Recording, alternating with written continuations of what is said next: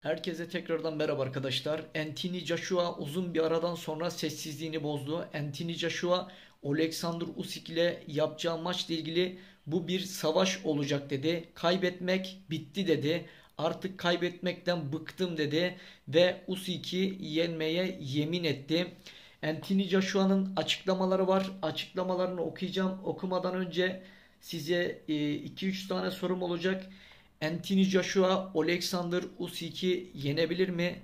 Anthony Joshua'da Usyk'i yenecek boks kapasitesi var mı? Anthony Joshua Usyk'i yenmeye inanan kaç kişiyiz ve e, açıklamanızı da yorumlar kısmına bırakabilirsiniz. Şimdi size Anthony Joshua'nın açıklamasını okuyayım arkadaşlar. Anthony Joshua kaybetmekten bıktım tatlı bilimi öğrenmeye çalışmaktan bıktım. Bir sonraki maçta hakem yere yığılabilir. Çünkü bu bir savaş. Bu sadece düz bir savaş. Rahatsız oldum. Bunun hakkında konuşurken bile içim yanıyor. Bu kazanma tutkusu diyor Anthony Joshua ve devam ediyor. Ee, Usyk'in 400 amatör dövüş oldu. Milyonlarca kez onu hırpalamaya çalışan insanlar gördü. Bu yüzden sadece bir stile uyum sağlamaya çalışmak aptalca ama benim için aklımda bir şey var. O savaş, bu cinayet, bu savaş. Hadi oraya gidelim ve adama zarar verelim. Ruhunu pes etmek istediği noktaya götür. Boks bununla ilgili bunu öğrendim. İnsanlara sürekli vurursun. Belli bir miktar baskı uygulamaya devam edersin. Onlar farkına varmadan onlar senin hiçbir yere gitmediğini, burada kalmak için burada olduğunu anlarlar. Oyun planıyla şu an aklımda olan tek şey bu. O tek pist. Rotada kal. Bu adamı gitmek istediği yerlere götür. Anthony Joshua'nın açıklamaları bu şekilde. Arkadaşlar Anthony Joshua Alexander Usyk'i yenebilir mi? Bu soruyu size sordum. Ben de e, buna bir yorum yapayım. Öncelikle eğer karşındaki bir boksör çok teknikse e, boks kapasitesi yüksek, boks zekası yüksek, kurnaz ve akıllı boks yapıyorsa bu boksöre karşı elden tek bir şey gelir. O da onunla savaşmak, mücadele etmek, pres boksu devreye sokmak e, ve e, akıllı tabi pres box derken akıllı vurduğun yeri görerek kontrollü e, sürekli ona pres yaparak onu boğmak. E, yani ona e, kontrolde maçı götürtmemek. Eğer sürekli pres yaptığın zaman e, o an düşünemeyecek. Çünkü her yerden yumruk geliyor. Tabi bu şekilde dövüştüğü zaman belki Alexander Usyk gibi boksörü yenebilirsin ama bu şekilde dövüşmediğin zaman orta distans, distansta e, Anthony Joshua'nın gibi dövüşürsen bu, bu gibi boksörlere maçı kaybedersin. Çünkü e, Alexander Usyk mesafede çok iyi dövüşen, boşalıp çok iyi vuran ve rakibi beklediğinde ona çok hızlı yumruklar vuran bir isim kandırıp bu yüzden e, Anthony Joshua bu maçta yanlış dövüştü. Bu maça iyi hazırlanması gerekiyordu. Özellikle de e, boks fanları bu maçta bu maç için Anthony Joshua'yı en çok zorlayacak e, en iyi rakiplerinden biri olarak zaten o Usyk'i göstertiyorlardı. Anthony Joshua bu maça iyi hazırlanması gerekiyordu. Özellikle de kondisyon olarak çok iyi olması gerekiyordu. Çok fazla Anthony Joshua'dan bir atak göremedik. E, bir onu böyle e, nasıl söyleyeyim dağıtacak bir yumruk vurmadı. Zaman zaman ataklar olduğunda da iyi işler yapıyordu pres yaptığı zaman.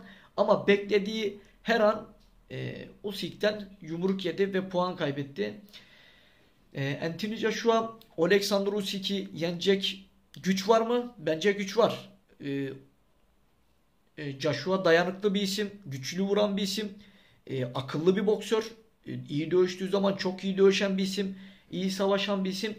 Ama kesinlikle Usyk ile teknik olarak dövüşmeyecek. Tekneye kaldığı zaman Usyk her zaman Joshua'yı yener. Bu da bir gerçek. Bundan sonraki maçta bence iyi bir kondisyon ve savaşan bir Joshua ringde görürsek belki iyi işler yapar ama görmezsek bu maçı yine Usyk'e kaybeder. Nasıl ki e, Joshua bu maça iyi hazırlanacak. Usyk de aynı şekilde hazırlanacak. Yani Usyk e, zaten e, Ukraynalılar akıllı boks yapar ve rakiplerini çok iyi analiz ederler. E, bu maça gelmeden önce Usyk Joshua'nın zaten yumruk gücünü, nereden vurduğunu, e, boks stilini her şeyini kendine kopyaladı. Bu maçı da kondisyon olarak iyi gelecektir Usyk.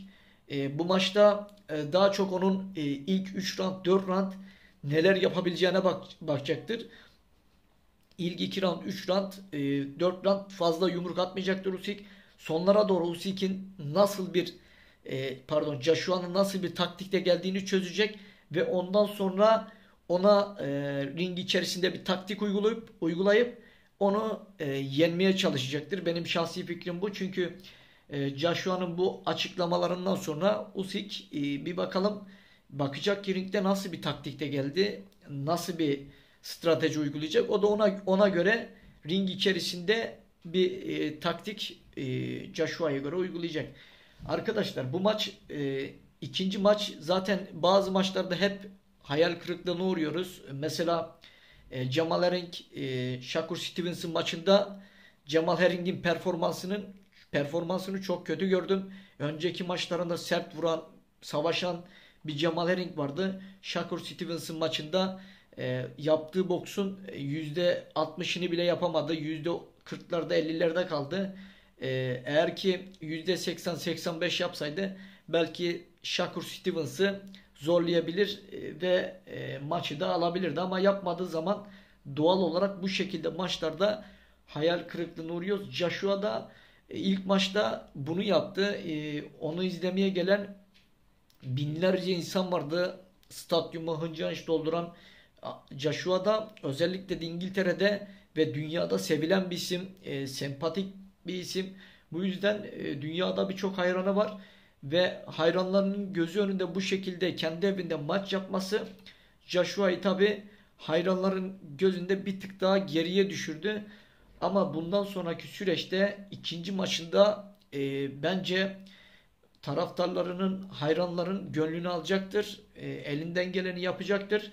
En azından en azından ilk maçki gibi olmayacağını düşünüyorum.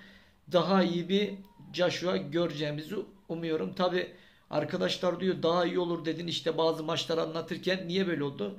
Arkadaşlar her şey çalışma. Yani onun e, gidip de ben ringde kendim dövüştüremem. E, Joshua'nın mesela Klitschko'yla maçına bakın. E, nasıl mücadele etti Klitschko'yla. Yani mücadeleyi Joshua edecek. Biz anlatırız ama iyi maçlarını, yenildiği maçlarını. Mesela Andy Ruiz maçında ilk maçta yenildi. ikinci maçta çok akıllı dövüştü. Bütün kemerlerini tekrar geri aldı. Belki Usyk maçında da aynı e, geri dönüşü yapabilir. Hayranlarını tekrardan sevindirebilir. E, Anthony Joshua Usyk ile ilgili benim e, yaptığı açıklamaya bakarsak söyleyeceklerim bu kadar. Tabi sizin de eklemek istediğiniz bir şeyler varsa e, ekleyebilirsiniz. Arkadaşlar bu tarz videoların gelmesini istiyorsanız beğeni yapmayı, eğer videoyu beğeniyorsanız beğeni yapmayı, Kanala abone olmayı, bildirimleri açmayı unutmayın. Tümünü işaretleyin. Ee, canlı yayın açtığımızda haberdar olursunuz videolardan da. Hoşçakalın. Kendinize çok iyi bakın.